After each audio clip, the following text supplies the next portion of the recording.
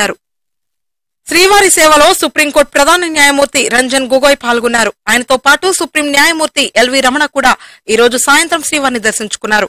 ఆలయ సాంప్రదాయాల ప్రకారం సుప్రీంకోర్టు ప్రధాన న్యాయమూర్తి దంపతులకు TTD EO Anil Kumar Singhal JEO Srinivasaraju మహాద్వార స్వాగతం పలికి దర్శన ఏర్పాట్లను చేశారు.